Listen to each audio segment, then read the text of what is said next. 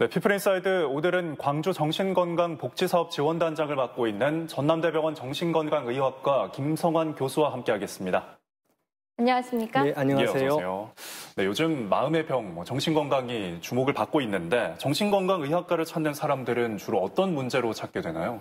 네, 우리가 살면서 한 번쯤 겪어보았을 그런 다양한 문제들입니다. 우울하거나 불안하거나 어, 잠이 잘 오지 않는 그런 현상들인데요.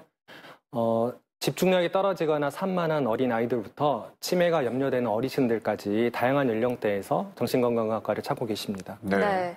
아, 그런데 이 우울하거나 불안한 것은 누구나 그럴 수 있을 것 같은데 이 정신건강의학과에서 치료를 받아야 하는 정도는 어느 정도인 건가요? 네, 크게 두 가지 기준에서 생각할 네. 수 있겠는데요. 첫 번째는 얼마나 고통스러운지에 따라서 어, 결정할 수 있겠고요. 두 번째는 일상생활의 지장이 얼마나 큰지에 따라서 결정할 수 있겠습니다. 어, 예를 들어서 우리가 시험에 낙방을 하거나 가족 중에 누가 아플 때 어, 마음이 우울하거나 잠이 잘 안 오거나 하는 것은 누구나 있을 수 있겠는데요. 네. 어, 그런데 그게 오래 지속이 되면서 어, 나의 사회생활이나 학교생활, 직장생활을 방해하고 있다라고 하면 그때는 치료를 받는 것이 필요합니다. 어, 예를 들어서 어, 우리가 감기가 걸렸을 때 어, 가벼운 감기의 경우는 그냥 푹 자고 네. 쉬면 자연스럽게 회복하지만 어, 중이염이나 폐렴으로 진행할 정도로 계속 오래 갈 것 같으면 그때는 꼭 병원 치료를 받아야 하듯이 어, 우울하거나 불안하거나 잠이 안 오는 것이 어, 오래 지속이 되면서 어, 점점 심해져 간다라고 생각을 하면 그때는 꼭 전문가의 진단을 받아보는 것이 어, 필요하겠습니다. 네. 네. 이 정신질환 같은 경우에는 이상을 느껴도 사회적인 편견 때문에 좀 망설이는 경우가, 치료를 망설이는 경우가 있을 것 같은데요. 이 때문에 병을 더 키우는 사례도 있을까요?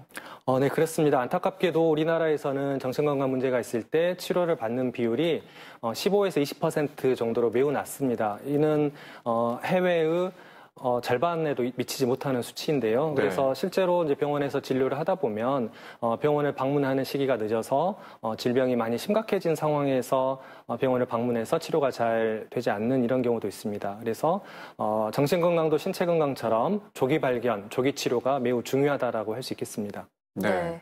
어, 광주 북구 정신건강복지센터장을 맡고 계신데요. 이제 정신건강센터 어떤 역할을 하고 있는지 간단하게 소개해 주시죠. 네, 어, 정신건강센터에서는 어, 정신건강 문제의 어려움을 겪고 있어서 치료를 받고 있는 주민들의 생활을 일단 도와줍니다. 또 일반 시민들의 정신건강 문제에 대한 어, 상담을 진행하고 있는데요.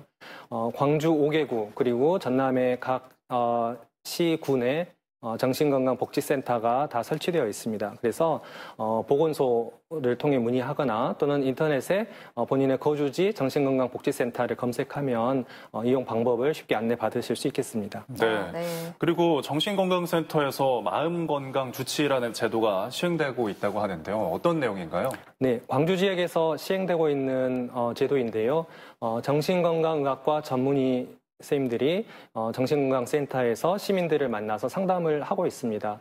어, 보건복지부와 광주광역시에서 지원을 해주고 있기 때문에 어, 시민들 입장에서는 어, 무료로 전문의들을 만나서 상담을 받을 수 있는 그런 제도라고 할 수 있겠습니다. 그래서 어, 우리가 정신건강 문제에 어려움이 있으면 의료기관에서 치료를 받는 것은 너무나도 자연스러운 것인데요.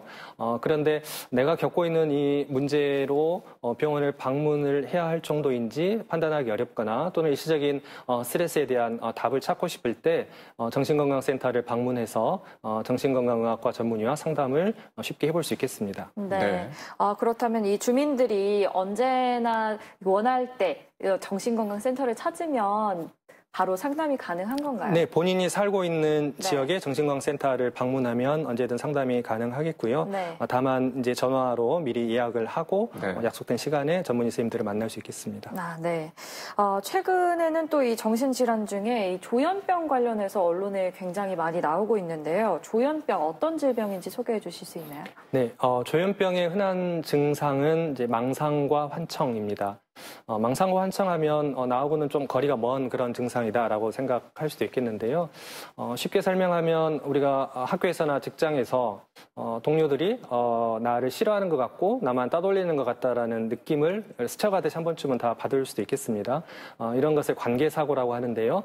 이런 게 점점 심해져서 근거 없이 어, 사람들을 경계하거나 의심하거나 위축될 때를 이제 관계망상, 피해망상이라고 할 수 있겠습니다. 네. 또 환청이라고 하면 어, 누군가 나를 부르는 것 같은데 돌아보면 아무도 없거나 또는 본인의 생각이 소리처럼 이렇게 느껴지거나 하는 현상을 어, 스트레스를 많이 받거나 피곤하거나 하면 이제 겪을 수도 있겠는데요. 어, 이런 망상이나 환청이 오래 지속이 되면 어, 이제 조현병 관련된 증상으로 발전할 수 있겠습니다. 어, 세계보건기구 조사에 의하면 100명 중 7, 8명 정도는 망상과 환청을 경험한다라고 하고요. 네. 어, 지, 지속적인 치료가 필요한 이제 조현병 어, 범주 질환은 어, 100명 중에 한두 명 정도라고 할 수 있겠습니다. 네. 네. 생각보다 많은 사람들이 조현병 증상을 경험하는 것 같은데요. 어떤 사람이 이 조현병을 앓게 되는 건가요?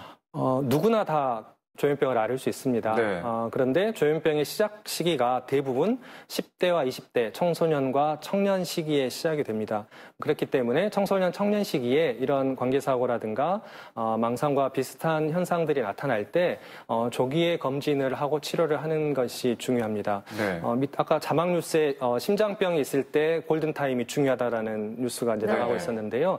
마찬가지 정신 건강에도 골든 타임이 있습니다. 그래서 청소년 청년 시기에 어, 그런 현상 이 있을 때 바로 치료를 받으면 네. 어, 충분히 조현병을 예방할 수 있고 완치할 수 있다라고 할 수 있겠습니다. 네. 네. 그렇다면 이 치료 방법은 어떤 치료를 받게 되는 건가요? 음.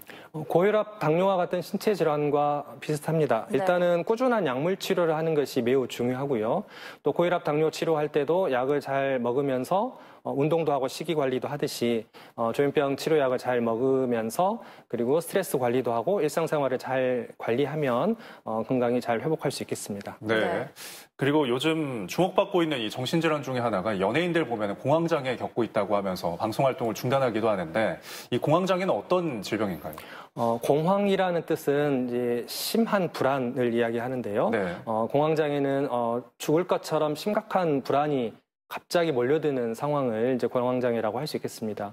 어, 공황장애 역시 어, 일상생활을 잘 하고 있는 20, 30대, 40대 이런 성인들에게 자주 발생할 수 있겠고요. 네. 마찬가지 꾸준한 약물 치료와 상담 치료와 스트레스 관리를 통해서 충분히 조절할 수 있는 질병이라고 할 수 있겠습니다. 네. 사실 이, 이 정신 질환 같은 경우에는 본인보다 주변에서 더 먼저 뭐 알아차리는 느낌인데 본인이 자체적으로 진단할 수 있는 방법도 있을까요?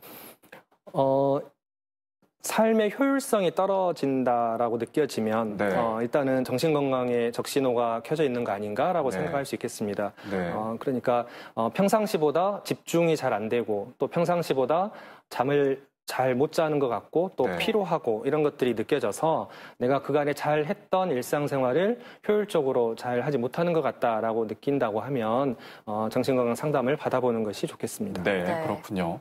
어, 그렇다면 이 조기 발견을 위해서 정신건강센터에서 시행하고 있는 것이 있을까요?